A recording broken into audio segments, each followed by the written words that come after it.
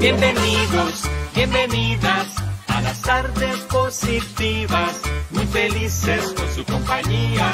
El programa ya va a empezar.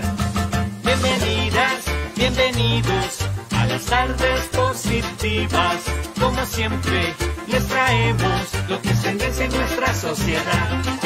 Lo que es tendencia e innovación. Lo mejor en belleza, cultura y educación. Primicias, noticias, conciencia ambiental. Salud, economía y cuidado personal. Conversaciones con técnicos profesionales, líderes de opinión y comunicación. Sabiduría, cultura e diversión. Encuentra aquí una solución. Bienvenidos, bienvenidas a las positivas. Muy felices con su compañía. El programa empieza ya. De su revista Esencia.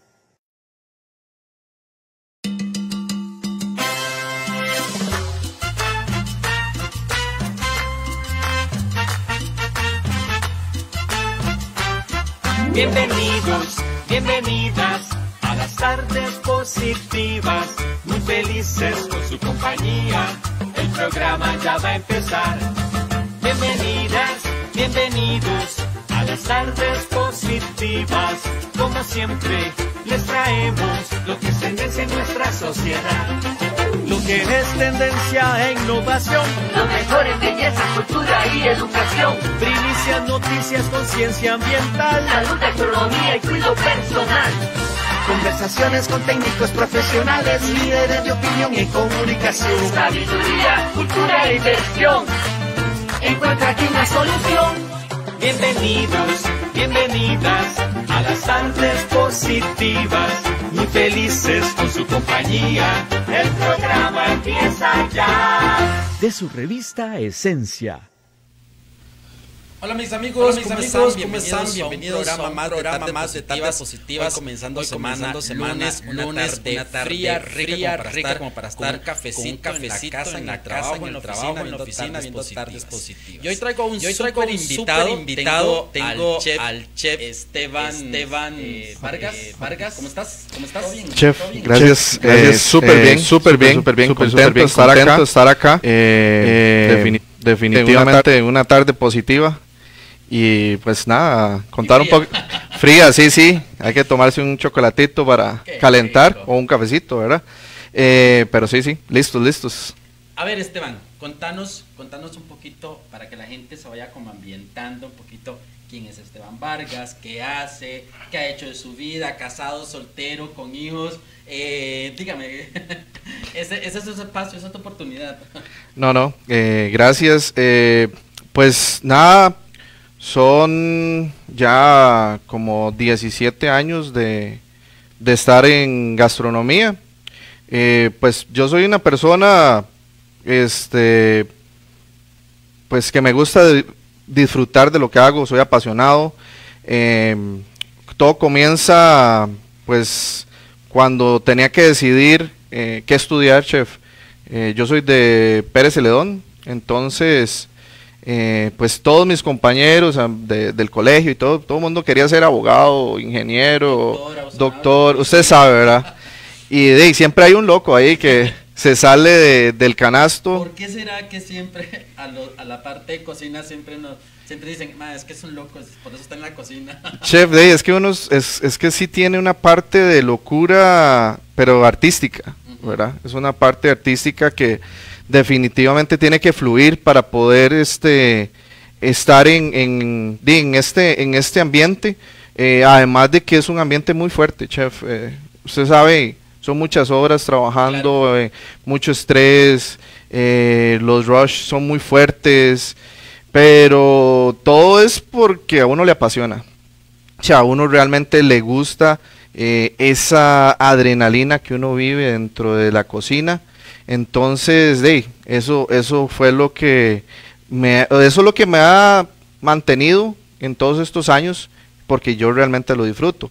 Eh, pues como le decía, entonces eso, pues allá en eh, el año como 2005 em- y estudio en el INA, empiezo a estudiar en el INA, Sí, ¿verdad? eso es en el INA. Esa- Sí. Esa fue tu primera formación. Esa es mi, esa sí, es mi, mi primera formación y es la que me da la herramienta para poderme eh, eh, como dice eh, mucho el eslogan de Lina en, en, aquellos tiempos, era la llave, ¿verdad? El progreso, la llave que de verdad le abría a uno o abre las puertas de, de poder trabajar eh, para muchos. Entonces, eh, como muchos de los compañeros eh, en el gremio que hemos ido o hemos iniciado en, el INA, entonces así fue.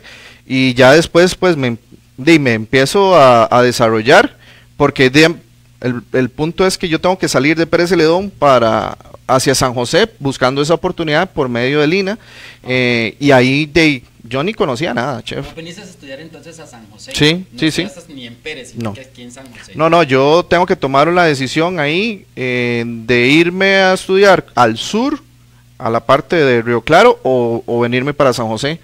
Y en conjunto con mi familia, pues decidimos que, que, que me venga para San José y ahí empieza pues toda la, toda la historia.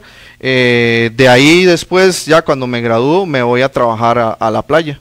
Digamos, ¿Cuál fue esa, esa motivación que, digamos, saliendo de tus estudios del, del cole, decir, eh, quiero estudiar gastronomía? ¿Qué fue, lo que, ¿Qué fue lo que te motivó? Chef, realmente eh, es difícil de escribir porque, porque en ese momento em, había algo, había una fuerza que me jalaba hacia eso, sin embargo no sabía qué era, no sabía qué era. Yo creo que ahorita puedo entender un poco más y es tal vez eh, que por medio de, la gastronomía yo puedo expresar muchos de, los sentimientos y de, todo lo que tengo dentro eh, en lo que son los platos y, ahora pues más eh, en temas de crear pues ya conceptos gastronómicos. Ok, una vez que saliste de Lina, ¿cuál fue, ¿cuáles fueron tus experiencias? ¿Cuáles fueron tus primeros, tus primeros pasos, por decir algo? Eh, es, este, es interesante, pero yo dentro, cuando estoy todavía eh, estudiando en el INA, yo tengo un compañero que, que estudia con nosotros y trabaja en un hotel eh, que no sé cómo se llamará ahora, pero el, creo que se llama igual, es el Barceló, o en ese momento era el Barceló Palmarreal, y ahí él me dice, Dice el chef que si usted quiere ir ahí a matar fiebre, llegue. y literalmente era así. Entonces, eh, como a las, yo de hecho me quedaba donde él y a las 5 de la mañana ya íbamos para, para la sabana y ahí fue como las primeras experiencias. Ahí yo perdí el miedo de entrar a una cocina. El ambiente era muy bonito. Eh, recuerdo el chef ejecutivo en ese momento era Carlos Jiménez, que es un gran amigo. Y, y él de, fueron las primeras bases, eh, como le digo, perder el miedo. Y después, ya una vez que termino eh, el curso de Lina, mm, de hecho, antes de eso, llegan eh, de, de, los sueños, de la Marina de los Sueños, a buscar personas porque se iban a abrir restaurantes. Entonces, ahí yo voy y hago la entrevista y vamos, de hecho, a hacer algunas este, prácticas para ver si uno servía y, me contrataron y yo me fui. Eso, eso ahí, sí, ahí sí perdió el miedo totalmente. A, ah, yo, a ver, miedo creo que siempre uno tiene, porque eso después lo, lo, aprendí, pero uno hace las cosas con miedo. Y yo me aventuré y, me fui. Recuerdo que lo único que llevaba eran unos librillos de lina, em, mi ropa y ya, y nos fuimos varios en ese, en ese momento. Y, y no teníamos ni dónde dormir. O sea, teníamos que ir a buscar un apartamento, tenemos que ir, era toda una aventura. Claramente tenía 19 años en ese momento, la vida era muy diferente, no, ¿verdad? que uno dice, de, me quiero aventurar y no, había, me importa nada, o sea. No había, no había pensamiento en, nada de riesgo, solo en, en, disfrutar ese momento, ¿verdad? Y así, así estuve por allá como un año y resto. Ya después me enrolo en, lo que es la cadena Marriott, que fue una, de una gran escuela. En la cadena Marriott yo me desarrollo mucho, eh, prácticamente durante ocho años, eh, en, varios hoteles, pero sí, eh, yo reconozco que esa fue como la ventana a lo que era un mundo profesional de, alto nivel. Y ahí comparto con grandes chefs, que eran jefes, compañeros, eh, que ahorita están super posicionados en, la, en el ambiente gastronómico y, ahí me, me desarrollo mucho, mu- por muchos años, sí. Esteban, uno termina, uno termina de aprender, bueno, uno nunca termina de aprender en esto de, la gastronomía, pero digamos, eh, cuando ya llevas varias, eh, por decir algo, varias empresas que, que, que abrís hoteleras, la experiencia todavía es más amplia. ¿Vos, Sí. vos crees que, que- que realmente el trabajar en una empresa como esas te abre muchas puertas y, y te abre, digamos, el campo de la, del- del aprendizaje? Sí, sí, totalmente. Cada experiencia, cada experiencia, sea pequeña o grande, que marca uno durante, o sea, dentro de esa experiencia. Entonces, todo eso, se, eso es como un saquito. Uno va echando toda esa experiencia, todo ese conocimiento en un saquito. Y, y lo bonito de eso es que ese saquito nadie te lo quita. Eso siempre lo va con- lo va a conservar uno. Eh, y, y, y es así, cada vez, como te digo, sea una experiencia de una ventanita o, o- o ya a nivel internacional, es, es todo, un, todo un mundo de conocimiento diferente. Y en ese proceso, digamos, de uno siempre le, le, le- le ha gustado eh, eh, como al, algo en específico, de decir, a Esteban, ¿qué fue lo que más le gustó, digamos, aprender o a cocinar? Sí, creo que, bueno, a mí lo que más me gusta de todo es el, eh, o el ambiente en el que yo más disfruto, es la carta, el rush de la carta, digamos, de estar eh, en el momento elaborando platos para, para las personas, ¿verdad? Para, para los huéspedes, para los clientes. Ese rush, esa, independientemente, claramente mi afinidad es más con el fuego que con la parte fría, eh, que eso nos pasa a muchos, pero, pero sí, la parrilla, los sartenes, eh, esa parte donde de verdad se siente una presión, eh, porque también eh, el equivocarse implica... eh, Arreglar las cosas y, y, y ve a ver cómo, cómo lo soluciona, porque usted tiene, Es ese plato tiene que ver a la mesa. es al momento. Cada, minuto que usted pierde o si hay que volver a preparar, eh, es, es algo que tal vez eh, uno que se vuelve pues muy exigente eh, no se permite, ¿verdad? Y ahí es donde empieza mucho el estrés, empieza mucho el- el- la competitividad, digamos, de, de con uno mismo. Al final es con uno mismo de que las cosas cada vez salgan mejor, que los, que los emplatados vayan lo más limpio posible y todo ese mundo, ¿verdad? Creo que es lo que yo más disfruto. eh, la carta, el rush de, de- estar en el momento sacando, elaborando platos.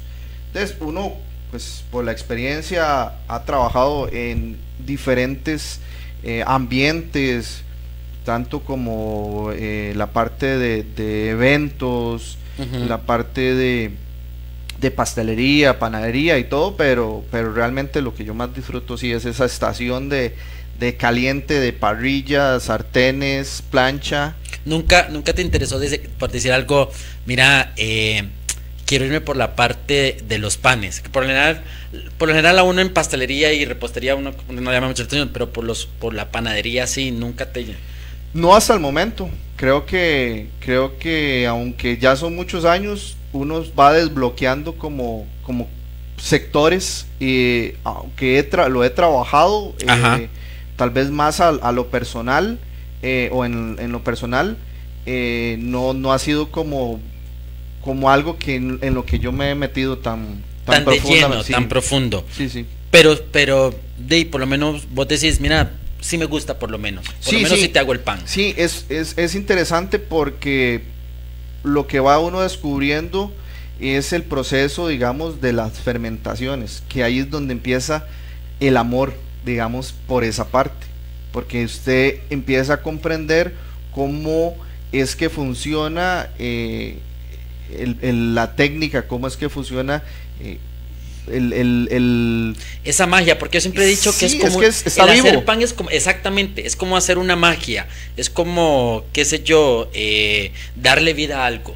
Definitivamente. Porque, porque la levadura igual, cuando trabajas la levadura, vos ves el crecimiento y el proceso y esto y el otro. el y- comportamiento, o sea, eh, las variables que existen dentro de ese proceso a llegar a tener un, un- una hogaza de pan eh, es, es, lindo porque de verdad que es un ser vivo. O sea, si usted no le da la temperatura que él necesita, si no, si no le da la hidratación, si no le da... O sea, él está vivo ahí en ese momento. Entonces es un mundo, ¿verdad? Porque es que eso es lo que pasa. Para poder ser eh, pues competitivo y, poder eh, tener conocimiento hay que meterse en ese mundo de lleno en, de la panadería, que es, muy grande. Esteban, vamos a ver, ya, ya me dijiste que es algo que siempre te apasionó y por eso escogiste esa carrera, pero ¿qué pasa, digamos, en esa parte eh, laboral versus personal? Eh, ¿qué, es ese, ¿Qué es esa disyuntiva que a veces todo el mundo dice, pero, pero ¿por qué los chefs no salen? ¿Por qué el chef solo pasa en la cocina? ¿O por qué no tienen vida propia? Eh, ¿Qué pasa con eso? sí, es que yo creo que nosotros decidimos tener una vida diferente.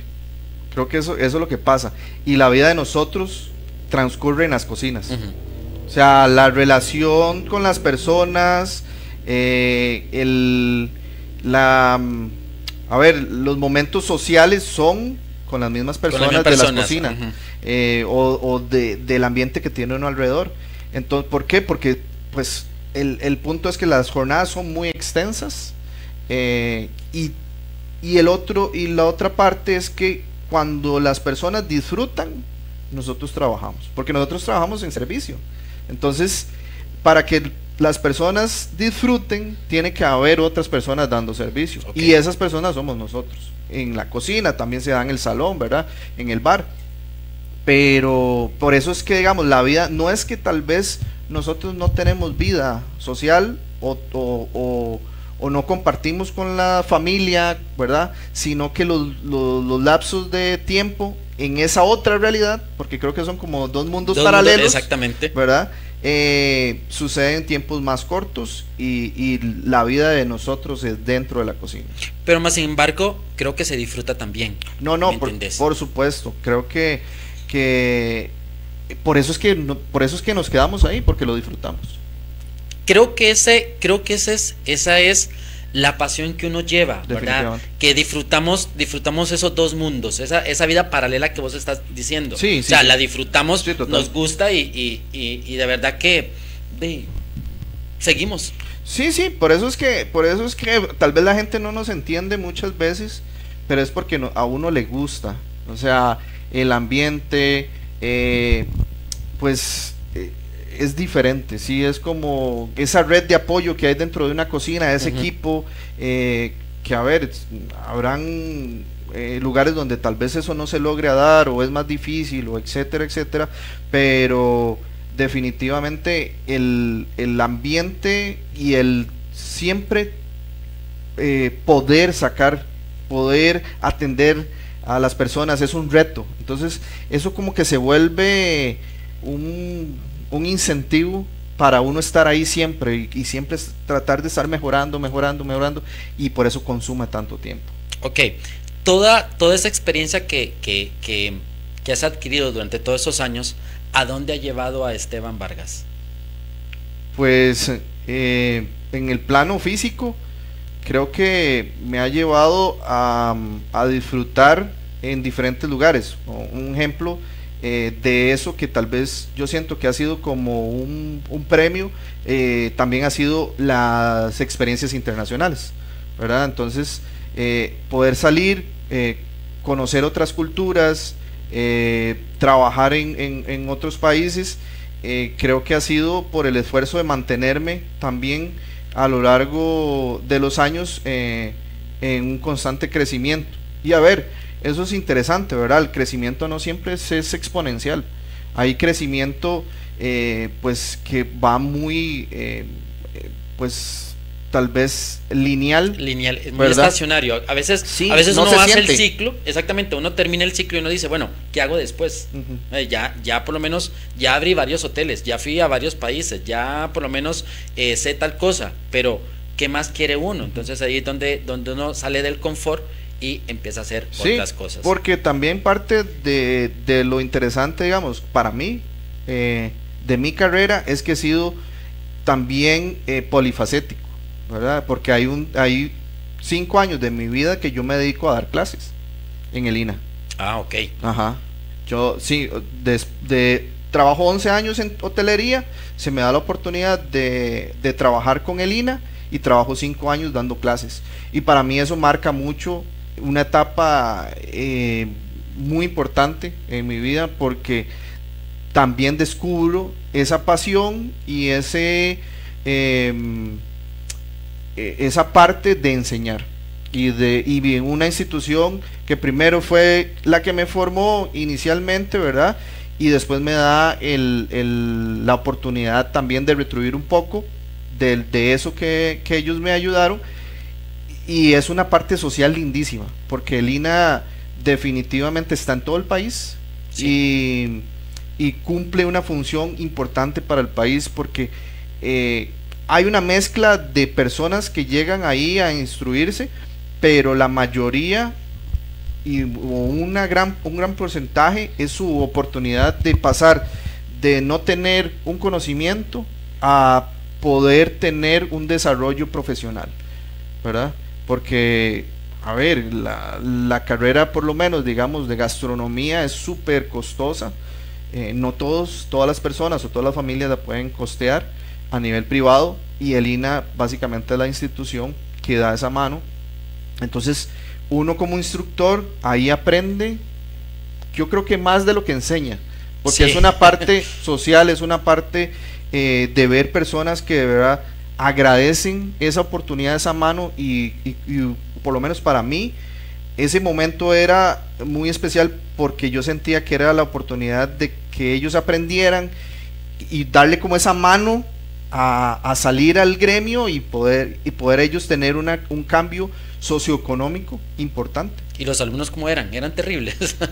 Los alumnos siempre hay de todo, siempre hay de todo, ¿verdad? Pero eh, a veces los más terribles y los que eh, generan un poco más de dolor de cabeza son los que uno se siente más orgulloso después a los años de ver cómo han ido construyendo pues su carrera. Y, eso a mí me, marcó mucho eh, esa etapa en el INA, que, que digamos, es algo que todavía a mí en lo personal me, me llama la atención el poder seguir dando eh, un poco del conocimiento, la parte de instruir, la parte de capacitar, me gusta muchísimo. y actualmente, ¿qué hace Esteban Vargas? Actualmente, pues actualmente eh, yo pues regresé hace poco al país, hace unos tres meses. Eh, yo desde hace unos dos años, tres años, tengo un emprendimiento que se llama Table Gastronomic, en donde eh, hemos ido desarrollando diferentes servicios a, a nivel de eh, asesoría, de eh, darle una mano a, a otros emprendedores en, en conocimientos que ya uno tiene por porque ha cometido también sus errores. ¿verdad? A nivel de emprendimiento y en base a eso ha aprendido eh, también, porque son campos diferentes, ¿verdad? No es lo mismo trabajar en hotelería y, y o- y otro es tener emprendimientos. O sea, ponerse una sodita, poner una ventanita, eh, requiere un esfuerzo enorme, ¿verdad? Y hay un montón de, de letras pequeñas que la gente no ve cuando adquiere esa responsabilidad. Eh, En eso sí tenés razón. Eh, los emprendedores dicen, ok, qué bonito, qué chiva, voy a ponerme un negocio. Pero, pero más adelante es cuando topan con pared. Y entonces es cuando entras vos. Ok, ¿qué, qué realmente es lo que hace, digamos, un asesor en gastronomía como, como vos? Sí, bueno, eh, nosotros, nosotros lo que hemos ido construyendo eh, con Table es un acompañamiento. ¿verdad? Eso es, eh, es, lo, es el- la diferenciación que nosotros hacemos eh, porque nos hemos dado cuenta que no es solo llegar y asesorar y irse, ¿verdad? O en el mismo proceso. No es, no es nada más porque hacer un menú ahorita te lo hace cualquiera o, o ChatGPT te lo hace, te lo genera. Eso lo hace, eh, o sea, es- está ahí. No es eh, el valor.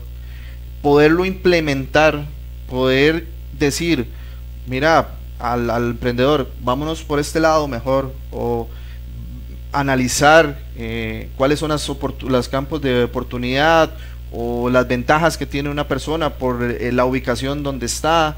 Eh, eso es lo que nosotros estamos haciendo, buscando ir un poco más allá con un servicio más personalizado, con un, con un acercamiento con las personas y darles, darles la mano, ¿verdad? Eso, eso es como lo que nosotros, en lo que nosotros marcamos diferencia, que que es lo que ahorita pues eh, está trabajando Table Gastronómica. Ok.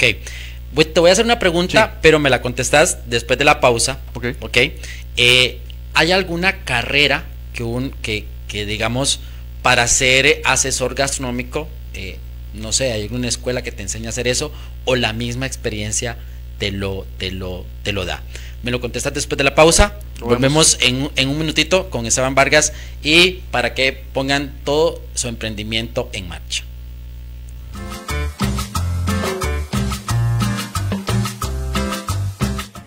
En el competitivo mundo de la belleza y el bienestar, destacar por la calidad es más importante que nunca.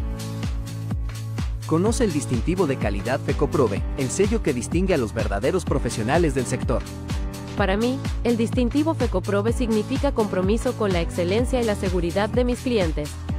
Es una garantía de que cumplo con los estándares más altos en cada servicio que ofrezco. Obtener el distintivo FECOPROVE no solo fortalece tu reputación, sino que también atrae a más clientes que buscan calidad y profesionalismo. Nuestro proceso de certificación es riguroso pero accesible, diseñado para apoyar tu crecimiento y éxito en el mercado. Únete a la comunidad de profesionales comprometidos con la excelencia. Obtén tu distintivo de calidad FECOPROVE y demuestra tu dedicación a la belleza con seguridad y confianza. Contáctanos hoy mismo para conocer más sobre cómo obtener tu distintivo de calidad FECOPROVE. FECOPROVE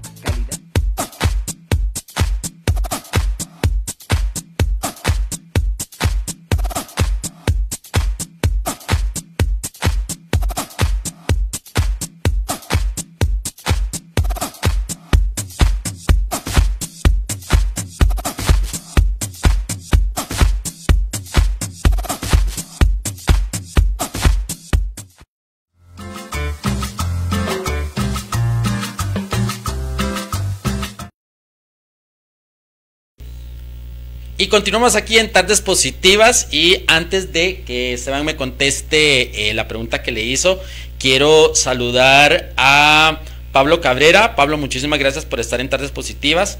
Ivania Naranjo, a Michelle Barquero, a don Marlon Calderón. Marlon, un saludote. De verdad, gracias por estar en sintonía con Tardes Positivas.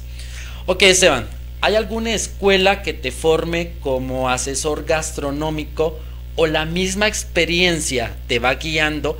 Para que vos, el juego de palabras, guíes a otras personas.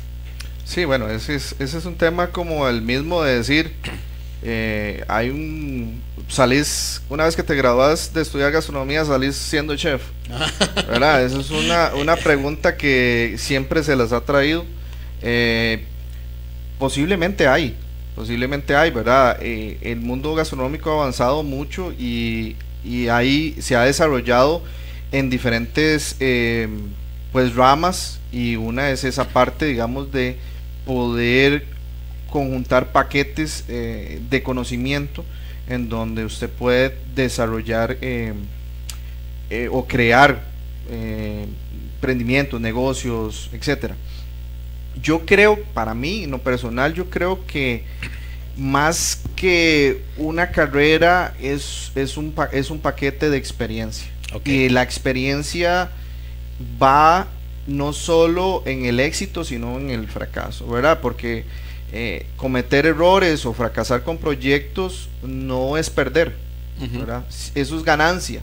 Lo que pasa es que hay que darle un poco el giro a eso para poder después que sea implementado y sea eh, algo positivo.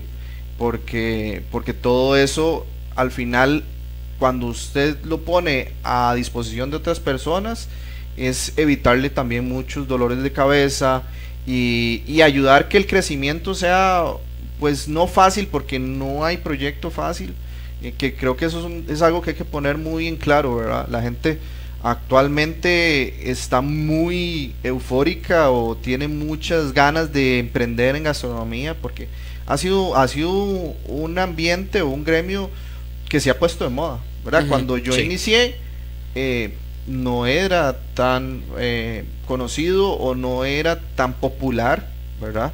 Eh, que incluso ahora hay series y hay un montón de, de, de tema, digamos, más viral, pero igual que las personas, a, los, a las personas que están entrando a estudiar cocina, ¿verdad? Que, que es muy bonito verse con una filipina, verse con un gorro y, y- y creer en ese momento que, que- que es chef, eh, hay un camino muy largo y de muchas, eh, de muchos sub y bajas, como la misma vida, ¿verdad? Claro, claro que Eh, sí. Pero a nivel de emprendimiento es igual. O sea, la gente cree que es nada más de abrir y eso es mínimo.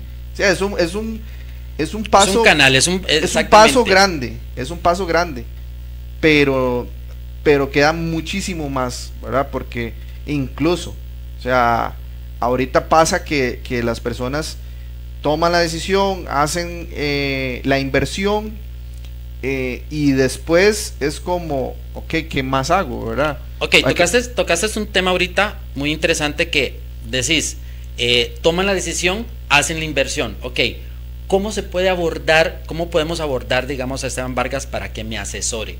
¿Cómo sería ese, ese proceso de, de abordaje? Sí, bueno, lo que nosotros hacemos, bueno, las personas nos pueden contactar por, por el teléfono de, de Table o por las redes sociales, que es donde básicamente la mayor parte de las personas nos contactan. Eh, y nosotros lo que hacemos es hacer un- una llamada y ya nos ponemos de acuerdo y hacemos un diagnóstico. Primero ustedes entonces hacen una visita, Correcto. hacen el diagnóstico y después dicen a la persona, bueno, pasa esto, esto y esto. Sí, porque en el diagnóstico no solo vemos cuál es la idea del, del cliente, del emprendedor, sino también qué es lo que nosotros le brindamos y cuál, y cuál desde ahí ya empieza la asesoría, ¿verdad? Desde ahí ya empieza eh, esa, esa, mm, ese acompañamiento. Ya después la persona decidirá si lo toma o no, pero desde ese momento ya nosotros marcamos eh, muy claro en cuáles serían los, los puntos que nosotros trabajaríamos, cómo los trabajaríamos, ¿verdad? Eh, tiempos y, y, y cuáles cositas tal vez o cuáles puntos nosotros no, no recomendamos trabajarlos. Ok, hablaste de tiempos. Ya, la, ya el cliente ya te contrató, ya le hiciste la visita, ya pasaron el proceso. Ok, ¿cuánto es el tiempo que se tarda en hacer efecto esa consultoría? Eso depende del tamaño del proyecto, ¿verdad? Porque hay proyectos eh, que son más, pues, más pequeños en, en trabajo, porque al final todo es tiempo. Entonces, eh, mm, yo creo que lo mínimo que tal vez nosotros trabajamos con un proyecto eh, que pueden ser dos meses, Creo que es lo mínimo que nosotros, eh, en lo que en tiempo que nosotros podemos desarrollar algo, ¿verdad? Eso es ah, tirando líneas así al, a lo, no, no haciéndole mucha mente. ¿Por Ajá. qué? Porque, digamos, va a depender de, de qué necesita el cliente. Eh, hay clientes que necesitan una ingeniería de menú, ¿verdad? Ya tal vez tienen un, un negocio andando, pero hay que mejorar el menú. Entonces hay que tomar el menú, ver cuál es el concepto del restaurante o el emprendimiento y hacerle las mejoras. Ok, en esos dos meses, digamos, ¿cómo puedo saber yo si me está funcionando o no está funcionando, digamos, la asesoría que vos me acabas de brindar? Es un, es un buen, es una buena pregunta, ¿verdad? Eso, ah, esa es otra cosa. Los efectos no son inmediatos. ¿verdad? Ok. Entonces no es como, como, como que yo tiro un polvito mágico y ya todo es perfecto. O te ve la cabeza, te tomas una pastilla y te quita el dolor de cabeza. Sí, no, no, no es así, no es así, porque lo que nosotros hacemos es darle, darle la guía y darle las bases a las personas para poder trabajar. ¿Por qué? Porque de ahí ya el, ya el emprendedor, la persona, tiene que tomar ese proyecto, ¿verdad? Porque es el proyecto de ellos. Nosotros damos la guía, damos eh, el conocimiento de nosotros, damos la dirección de cuál debe ser el camino, pero cada quien ya toma su proyecto y dice, ok, vamos, vamos para adelante con esto, porque, porque es, un, es un trabajo de tiempo. Yo siento que los proyectos, y siempre lo hablamos, es como, como un bebé. Ajá. Entonces, digamos, el bebé no empieza corriendo, ¿verdad? En, su, en, su, en sus etapas de vida. El bebé empieza, pues, analizando todo el ambiente, después se tira al piso, va gateando, camina, ya después corre. Y es igual, es igual, todos los emprendimientos tienen sus etapas y nosotros lo que le damos es esa, ese acompañamiento a las personas y, y, poderles ir instruyendo en cuál sería la el mejor camino para poder ir. Pero eso no quita eh, que sea eh, un tiempo y un esfuerzo de parte de cada emprendedor. Eso me imagino que se va dando tal, en el proceso que, que está dando la consultoría y también el tipo de negocio a quien le está dando Correcto, la, por supuesto. consultoría. Sí, sí, sí, porque digamos, nosotros hemos trabajado eh, desde pequeños eh, establecimientos y, tal vez alguna que otra reestructuración hasta un proyecto de miles de dólares ¿verdad? Con eh, incluso el mismo concepto. O sea, la persona tal vez dice, yo quiero un café, quiero esto, lo otro, pero no sé cómo se come eso, no sé por dónde empiezo. Y entonces nosotros trabajamos toda la parte del desarrollo de la idea, concepto, todo. La parte también, eh, nosotros trabajamos en Table, la parte de, eh, del marketing, eh, desarrollamos también, porque, a ver, hay que entender algo. Table no es Esteban solamente, ni es Fiorella, que es mi socia, sino hay un montón de personas que nos apoyan, eh, de profesionales que nos apoyan en diferentes campos, ¿verdad? Entonces, si nosotros necesitamos una sesión de fotografía, también tenemos eh, profesionales en el campo que nos ayudan con esa parte. Interesante. Sí, porque al final es una red de apoyo. Al final se convierte en una en un trabajo en equipo buscando un objetivo común. Entonces, porque uno de los puntos y de lo que a veces no, las personas cometen el rol es en ser todólogos, ¿verdad? en querer hacerlo todo. Entonces, la persona toma las fotos, eh, lleva las redes, cocina, te cocina. Cocina, hace el express. No se puede. Entonces, claramente, yo entiendo que muchas veces un tema de presupuesto eh, es complicado. Y esa es otra. Eh, nosotros, de cierta forma, eh, buscamos dar un producto de calidad. ¿verdad? Ese es nuestro fin. Que la asesoría y algo que hablamos con nuestros clientes es la comunicación. O sea, que la persona se vaya sintiendo bien con lo que nosotros le estamos brindando y que nos digan, bueno, esto me gusta, esto no me gusta. ¿Por qué? Porque es parte de cómo nosotros podemos llevar ese, ese proyecto. Pero el, punto es que mm, a veces no, no podemos eh, trabajarlo si no hay un presupuesto. ¿verdad? Entonces ah, es, es un tema un poco controversial, pero una de las cosas por las que tiene que eh, analizar un emprendedor de ese presupuesto. Una de las cosas que yo siempre eh, me he puesto a analizar, Esteban, es que, por ejemplo, la gente eh, te hace un bajo perfil de una soda, pero en una soda se puede dar una asistencia, una, asesoría. Por supuesto, por supuesto. Es que eso es muy relativo. Hay sodas que generan más utilidad que un restaurante eh, X. X, exacto. Sí, sí, sí. ¿Por qué? Porque todos los negocios son diferentes. Y no quiere decir que un negocio económicamente o es más exitoso que otro solo porque ahí llega a comer celebridades o porque eh, es más lujoso o más fancy.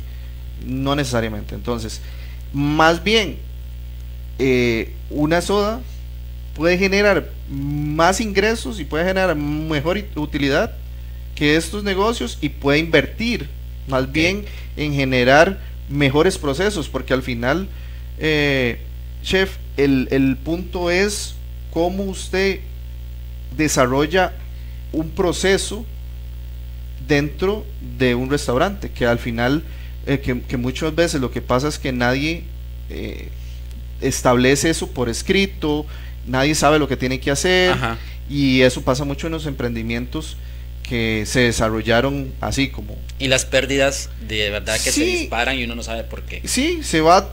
Y a veces son, son puntos de fuga que se pueden solucionar, pero llevan de un conocimiento. Ok, tengo aquí que uno de los servicios que ustedes prestan es asesoría para restaurantes, ingeniería en menú, capacitación de personal y creación de eh, conceptos gastronómicos.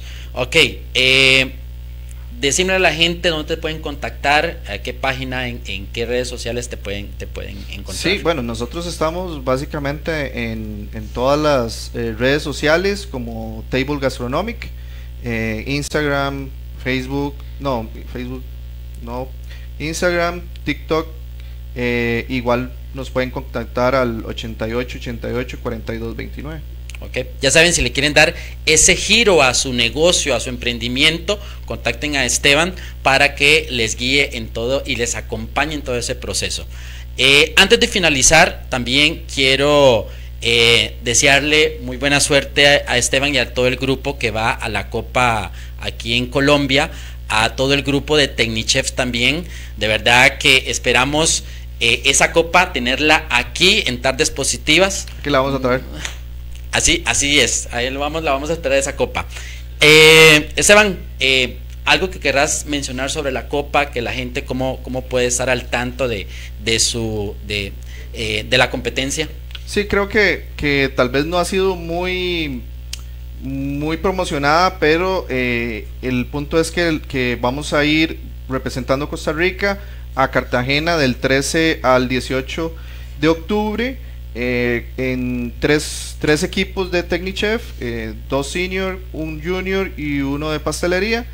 Y pues todo lo vamos a estar em, publicando y vamos a llevar este toda la información por las redes sociales, igual de Table, mi red personal, mi red social personal de Vargas.cocina y lo de los otros compañeros, pero tienen que estar atentos porque va a estar muy bonito. Eh, va a haber mucho, bueno, es un, es un festival como tal y dentro del festival está la Copa Claudio Ferrer, que es en la que vamos a participar eh, y, definitivamente vamos a, a, trabajar, o ya hemos trabajado durante estos meses atrás por eh, traernos la copa para Costa Rica. Que de hecho he visto el trabajo que, que, que han hecho estos chiquillos y de verdad les, les juro que hay talento aquí en Costa Rica y talento del mejor. De verdad, muchísimas gracias por haber asistido aquí, muchísima suerte en la copa y como te digo, quiero que esa copa esté aquí el día 7, te dije, o 17, para hacerles la otra entrevista con ustedes. De verdad, muchísimas gracias por estar aquí y te espero entonces en una próxima. ¿Qué te parece? Suerte. Y a ustedes eh, no se pierdan de todas las, de todas las eh, eh, cosas que vamos a tener. Les voy a traer noticias de la Copa también. Y los espero el próximo lunes aquí a partir de las 4 de la tarde en su revista Esencia en Tardes Positivas. Nos vemos en una próxima.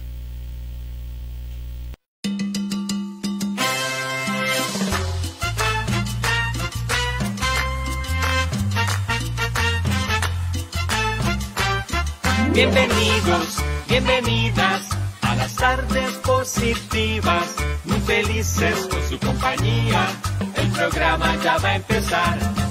Bienvenidas, bienvenidos a las tardes positivas, como siempre les traemos lo que es tendencia en nuestra sociedad. Lo que es tendencia e innovación. Lo mejor en belleza, cultura y educación. Primicias, noticias, conciencia ambiental. Salud, economía y cuidado personal.